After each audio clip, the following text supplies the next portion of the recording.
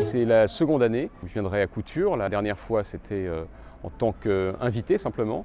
Moi, j'ai beaucoup aimé l'esprit de ce festival parce que c'est peut-être le seul endroit en France où l'on peut, euh, au détour d'une ruelle, croiser euh, un journaliste, un grand reporter, un, artiste, euh, un iconographe, et discuter avec lui, lui demander pourquoi il fait ça, comment, dans quel moment, à quel endroit, le tout dans une ambiance qui est franchement conviviale et sympathique. Aller à la, rencontre de, ces lecteurs, je pense que c'est vraiment une mission que, doivent remplir les journalistes aujourd'hui, et la remplir dans un cadre quasiment idyllique comme celui de Couture, c'est absolument idéal. Moi, j'ai eu un coup de cœur vraiment pour ce festival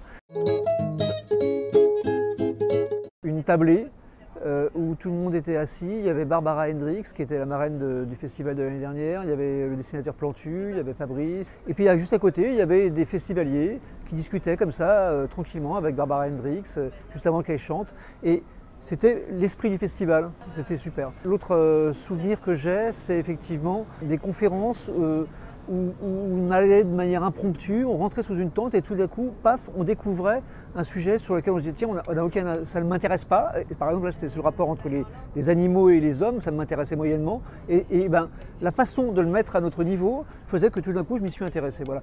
Couture, c'est ça, c'est euh, la proximité et en même temps le fond.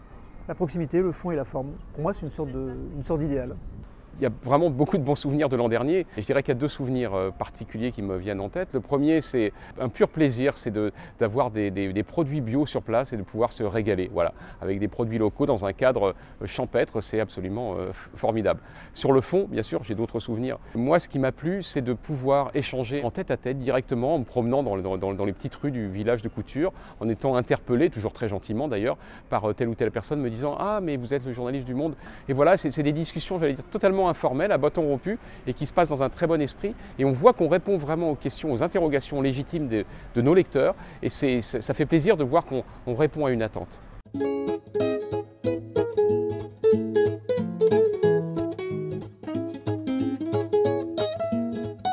Le choix de notre thématique euh, qui est d'interroger en quelque sorte les rapports entre la presse et les, hommes ou femmes politiques, il est fondé sur un constat qui est que euh, depuis des années, avec euh, Gérard, on donne beaucoup de conférences, on rencontre beaucoup de, gens, des lecteurs d'articles du Monde, bien sûr, parfois de, nos livres, qui nous posent régulièrement la même question qui est est-ce qu'il n'y a pas une trop grande connivence entre les journalistes et les, et les personnalités politiques?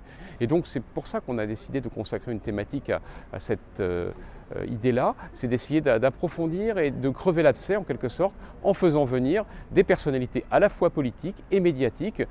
Et euh, tout, ça sera arbitré en quelque sorte par les, spectateurs, qui sont aussi des, lecteurs, des téléspectateurs, des auditeurs, qui ont mille questions à poser sur ces rapports, parfois pervers, c'est vrai, entre journalistes et politiques.